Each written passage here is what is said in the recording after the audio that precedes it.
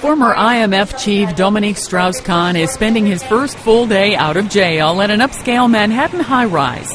But he may not want to get too comfortable there. For now, the man accused of sexually attacking a hotel housekeeper is living in this building near ground zero, much to the chagrin of some of the tenants. Everybody gets pushed out. They let the finance scumbags in and they raise the rent.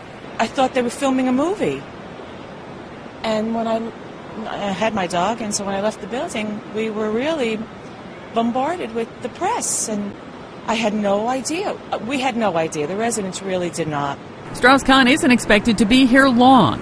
The judge who granted him bail says he should only stay here for a couple of days until he finds a more suitable location where he could be monitored and not disturb those around him. Experts say that could be hard to accomplish in New York. Right now, he's going through a lot of attention in his life, which is exactly the type of attention a building does not want to see. However, he says he does have some options. If I were him, I would be looking at buildings that perhaps have private entrances and or garage entrances so he can come in and out of the building escorted in a uh, private car. It's not clear what his place is like, but in general, rent for two bedroom apartments starts at $4,200 a month.